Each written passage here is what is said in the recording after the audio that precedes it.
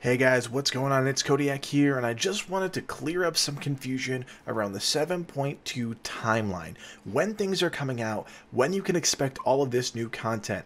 And there was a post by one of the community managers today on March 29th that explained all of these things, but I wanted to lay it out for you guys in a quick video so I could get you guys on the same page with Blizzard, we could all move on and be happy.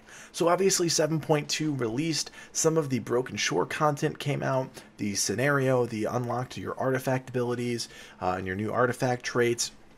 The new dungeon came out. No new raid, obviously. That's going to come much later. But let's talk about some of the things that are coming in the upcoming weeks. So, week two, Legion assaults begin. Now, we talked a lot about a Legion assaults. They are the kind of Rift style invasions that'll happen across the Broken Shores. Those will start next week. You'll also see the first PvP brawls become available. Now, brawling is nothing new in the Blizzard universe. Overwatch has it, Heroes of the Storm has it. I'm pretty sure Hearthstone has it. Somebody would have to check that one for me. But those are starting next week. Very excited about those. Maybe it'll get a lot of people back into the PvP world or maybe allow people to dip their toes in for the first time.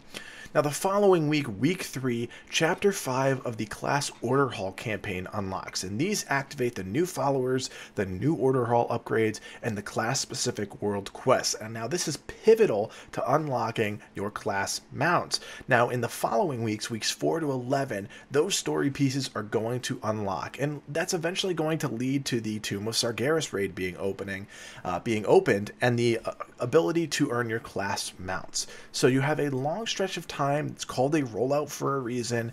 Now, there is some overarching things about the story in 7.2. Obviously, we're returning to the Broken Shore for the Vengeance, and we're responding to the Legion's invasion, but the Tomb of Sargeras is the peak of that. It's the pinnacle of that, and we will get back in there after we go through all of these things. The Broken Shore scenarios, the Legion assaults, unlocking and completing the next stage of our Class Order Hall campaigns.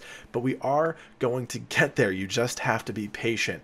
So that is the timeline to 7.2, guys. We'd love to help you out here in Exiled Power. If you do have any questions or comments, please leave them in the description below. If this is your first time on the channel, welcome. Please give us a like and a subscribe. But for now, my name is Codiak, Raid Leader for Exiled Power, and we will see you next time.